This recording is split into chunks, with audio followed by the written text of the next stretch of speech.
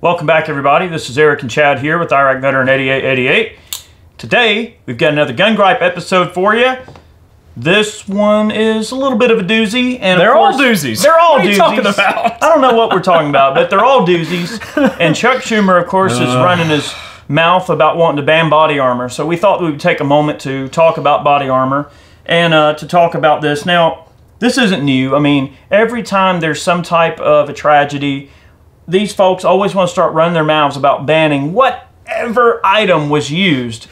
You know, if if a guy had a med kit on him, they'd want to ban the med kit. I mean, body armor is one of the most passive ways that you can protect yourself. You don't even have to be armed to have body armor on to protect yourself against someone trying to shoot you or something like that. And he wants uh, for civilians not to have access to body armor. Okay, says right here that he goes on to say that body armor has become part of a checklist for copycats. Okay, and basically that he doesn't want anybody who doesn't have an occupational need to have body armor to have body armor. So What does that basically, even mean? if you're not his bodyguard or the police or protecting the government or the military, you don't have any business having body armor. I don't think really. I don't think the government really needs body armor because I mean, what happens if the the people need to uprise? You know, come on. It's all control, guys. It's all a bunch of hogwash. I mean, there, there's no like actual bill that's been proposed yet that I can find. It's really just saber rattling at this mm-hmm. point. But it just sets forth a really disturbing precedence when someone swears to defend and uphold the Constitution of the United States against all enemies, foreign and domestic. Then you should be pro-gun. Like you shouldn't have a choice to decide. Oh well, I don't like guns. When weapons and armor are part of the Second Amendment, right? you know the bill the ability to protect yourself armor was a part of the term arms back in the day armor mm-hmm. and weapons and it was the same armor and weapons that the military had at the time as well when the second amendment was adopted so the purview there or, or it's under the purview that the second amendment applies to the same armor and weapons that the military has access to Well, the thing. i know that's hard for people to, to grasp but we're being you know our rights are being trampled on oh, they're they're being trampled on all the time. I mean, and it's just even it's been getting worse over over the course of time, and now it's almost like come to a head. It's like every other week there's some you know politician who's spewing some nonsense about oh we need to ban this because of public safety. Blah blah public safety. Oh, the So you're public- going to ban body armor in the in the interest break. of public safety, and then actually remove the things that make people feel safe and physically Well, make people safe. Not only that, but you think about it, okay, gun free zones. Let's go back to gun free zones. Okay? So, you got a gun free zone. All right, nobody's supposed to bring guns in there, right? But somebody decides to. They're, they're a criminal. They're breaking the law, right? Well, what means do you have of protecting yourself? You can't carry a gun in a gun free zone, right? Body armor is a very passive way of defense, of protecting yourself in those situations. Why would anyone want to take that away? Oh, wait! Control! Oh, total control. I forgot the politicians want us to be just little peons, settle, subjects. settle down, Ronald McDonald. Dude, well, look, y'all are talking about y'all talking about gun gripes and stuff. This is a gripe. It is. It's just nonsense, pure and absolute nonsense. And anyone who listens to Chuck Schumer, they just need to go crawl in a hole somewhere and just Bury live out their the yeah, sand. just live out the rest of their life down there, just like that. That'd be perfectly fine with me. No sense. Sorry. No, Sorry. it's cool. Sorry. It's cool. So what we're doing in this video is we want to also show that you know there's all different types of armor. A lot of people when they when they think body armor, they think you know hard plates. They think you know they see the SWAT teams or military wearing a piece of mm-hmm. armor, and they think, oh well, that's the only armor you can get. So AR-500 does make some pretty stout armor, but here we're going to show you some lighter options. And the armor industry is actually going towards the route of just everyday people having armor too, mm-hmm. right? So it doesn't matter if you're just simply a student going to school and you just want to be able to have some armor, just a real passive thing, or if you want to have a light carrier to protect your children uh, in the carriage or something, or if you're out and about, or just have some armor on, on standby that just doesn't look like armor. There's a lot of passive and lightweight options that don't scream, hey, I've got body armor. So uh, AR500, we got with them and got some stuff out to show you guys. And, um, and we want to just show you guys a few things. I have to talk about the the guy who recently walked into another store or whatever, you know, doing a Second Amendment audit, wearing body armor. I mean, come on. Who in their damn right mind would think that it's okay to just walk into a store like that with a full kit on? Like, come on now. People, the, Especially with the sensitivity of things going on. That Oh, wasn't well, a very smart not, idea. Not only that, but I think about open carry and concealed carry, and th- this video is is not focused on that at all. But I carry concealed. I don't want anybody just seeing my firearm on my person. No, I want it to be concealed so that way it's not it- it's not detrimental to me just going to the store and somebody calling the cops because I have a gun on me. You know, in this day and time. You know, that's that's the general consensus now is oh, if you got a gun on you, you you must mean to do harm. No, it's it's all about public image. You know. well, this isn't the first time they've talked Oh about it. God, no, it's not. Okay, so so back back when uh, you know back during Vegas and all of that, uh, it was it was another situation too. I think it might have been maybe the Pulse shooting or something like that.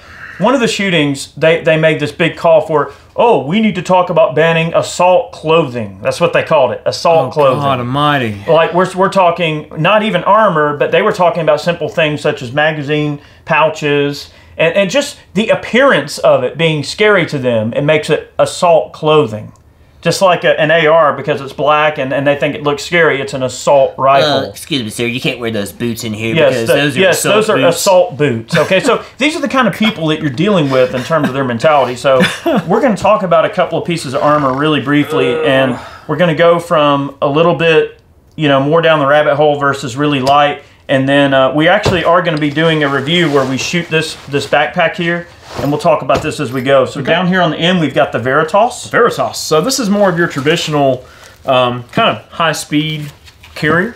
Okay. So this has a lot of MOLLE, a lot of Velcro on it, plenty of room for attachments. You know, kind of QD clips. You've got MOLLE on the back, so you can carry multiple mag pouches, med kit, other supplies and things. You can put uh, pouches on here to carry a knife, flashlight, radios. med kit, you name it. So MOLLE up on the straps. So this is a very more know, Duty ready. duty ready tactical style carrier. You know, this is something that you know you would set up and have as kind of a, a go to rig if, if you're ever in some sort of you know home defense scenario and you just need to grab and go or keep in your car in case there's something crazy going on whatever the case is or if you're law enforcement military whatever the case is this is the kind of thing that you would probably have in your kit Now, the plates that we're going to be showing you are soft plates that are level 3A rated, Mm-hmm. but obviously you can get their, their anti-spall, you know, AR-500 armor Mm-hmm. Steel, plates. yeah, We've tested plates. Oh, a bunch of the steel plates in the past. They hold up really well. I don't have any of those plates here to physically show you, but Well, we will just- be showing soft body armor. we've destroyed all the ones that we we have destroyed them all, and that's why we don't have them. All right, so, So- going next, this one's a little less obtrusive, and we're the getting into the. Invictus. So this is a little bit lighter weight plate carrier, okay? You've got much thinner material, very much more low profile, but you still have the Velcro options, some really low profile MOLLE for you know all of your attachments and stuff, and it's a little bit lighter weight too. Mm-hmm. Not quite as padded, probably wouldn't be as comfortable over time. The straps, you know, are just kind of a thin strap material here, but I mean, this is the kind of thing that me personally I would have set up at the house just for a grab and go. And this is also the style of armor that you're going to see people wearing. Like anytime you see a reporter overseas Mm-hmm. in a combat zone, or maybe a medic or a firefighter that might be in a combat zone that needs, you know, maybe some some armor. This is a good lightweight, everyday wear, you know, armor you can wear on the job if your, you know, job requires it Mm-hmm. uh, to cut down a little bit on the weight, especially if you're not needing to carry all the gear. You just need the protection of the armor. Uh, this is a great way, uh, way to do that. I'll see when like meltdowns and stuff, I could carry extra batteries on this, and Mm-hmm. you know, lens caps and extra lenses in case I need to switch something on the fly. Yeah, maybe you know? some gel for your Maybe, hair. you yeah, know. maybe some Soul Glo. you know, All right, so getting even lighter, and we- we're going to show you a couple of uh, various things. Uh, we we've have got here? the Freeman. all right, this is the Freeman, the Gordon Freeman. The Freeman. So this is like uber lightweight. Look at this. I mean, that thing is just meant to carry a single plate on the front and the rear, and just be super minimalist, super low profile, and you do still have some MOLLE attachments on there Mm-hmm. for some accessorizing. Yep. I mean, that is cool. I, they have got some really, really killer stuff. And then lately. this is their level 3A armor here. Uh, this is this is made to stop pistol threats Mm. up to 357 sig pressures, which you know 357 sig's got some power. Uh, I would imagine that these things will stop quite a few pistol threats, but that level 3A is, is definitely Mm. no joke. And this is a very lightweight 3A plate. It is. I mean, know? we've we've shot these before, guys, and they do perform quite well. And you can see this is the same type of, of idea, but just super, super lightweight. This one's even lighter and with no MOLLE. Yep. See this here. one. Yep, the 3A. So it'll stop 44 Magnum semi-jacketed hollow points uh, with specified mass of 240 grain up to 1,430 feet per second. Yeah. So That's a substantial pistol threat. It is. Now, level 3A won't stop rifle threats. Uh, if you want to stop ri- a rifle threat, you've got to get up in the level four armor and get up into you know the metal plates with the anti-spalling, and that's the- where you get into like the trauma pads and things like well, that. you can get too. into the like ceramic stuff too, or the composites Oh, yeah. but crazy. Yeah. Okay, so getting on to the, this is the EPC or Emergency Personal Carrier. Now this is super super lightweight. This one is not necessarily designed to be worn. It's really meant to be placed in a, in a position, or you could you could probably wear this. Well, it looks a- like uh, in here. Let me see. So we were like looking at this that- earlier. So you strap this thing over like this. Uh, it's just get it- meant to be like super quick. Yeah, and then it's got a strap right here where you could just There you go. tie that thing on, and it's just a front plate. Yeah. You don't have rear plates and stuff. This is just more like a, you know, if if you're say say you, You got can keep this like uh, hooked around like you, the back seat of your truck or something. well, yeah, I mean, say you got a or well, even at the house too. I mean, if you got like a panic room or something like that, or a you know, say you in some sort of emergency situation, you know, you gather your family up and you go to a designated room. I mean, this is the kind of thing that you could easily drape over your children just to help add that extra layer of protection if somebody's in your house trying to hurt you. yeah. You know, it's not it's not that hard. But people like Chuck Schumer want to ban your ability to use this tool in your own home for your own plan. Or heck, you know, if you've got a, a really young baby Yeah. uh, in a crib or something, you could drape this over the side of the crib, or even drape this, you know, near the baby just to Easy. add a little bit of extra protection if you've got time to prepare. So, armor is a passive way to protect yourself, and everybody thinks that armor has to be this thing that's all tactical and everything. We want to show you that there's options that you don't have to go the tactical route. Mm-hmm. You don't even have to be a pro gun guy or even like guns to have armor. It's one of the most mm-hmm. passive ways you can protect yourself. It's just to simply keep bullets from entering your body, right? So the last thing we want to show is the Firebird armored backpack. Now, This is pretty cool. this is neat. You know, I actually didn't know about this until real recently. Well, you got There room go. for your laptop and You everything. still got room for all your school Yeah. supplies, your laptop, and this is a, a, a very nondescript and non-obtrusive looking kind of thing. Mm-hmm. It's not tactical. It's not camo, mm-hmm. and it got you know a whole bunch of MOLLE on the outside of it. It's a very simple, you know, Low unobtrusive, low key Yep. kind of thing. And you see that in the industry with not only I hate to use the word tactical clothing. I hate that word. I've gotten to the point where I don't even like saying the word tactical, Tactical. anymore. But tactical clothing, the big thing now is you know being really nondescript. I mean, like I really love the Kanai gear, uh, the Kanai Pro gear. When you look at their shirts, um, you know their tops, their range bags, their gun carriers. I mean, all the stuff that that you know um, that Kanai makes is really just good everyday man stuff that doesn't look all tactical, mm-hmm. right? It's just simple. It works. It's tactically minded, but not like have to be ranger operator walking Yep. somewhere. So Yeah. uh, there's been no bill proposed yet on the body armor ban, hmm. but it's probably important that we keep an eye on it. So mm-hmm. if anything hits uh, that we can, you know, report back on, we will. But we wanted to make this video to let you guys know and be aware that Chuck Schumer is rattling sabers when it comes to body armor, and we wanted to show you guys some body armor. Thought it might be a cool opportunity. Remember, if the government, politicians, these people want to restrict your access to the tools necessary that well that you deem necessary, whether or not you think you need to own them or not. If you have access to these tools, then you are a citizen in this country. If you don't have access to these tools, then guess what? You wind up being a subject. And I've heard that term used so much in politics recently, it just ticks me off to no avail. We That's are not want. we are not subjects. We were subjects under the monarchy before we gained our independence from the British. We are citizens of this country and we deserve all the tools and all the means necessary to defend our way of life and our life and liberty. Whether you think so or not, Mr. Schumer.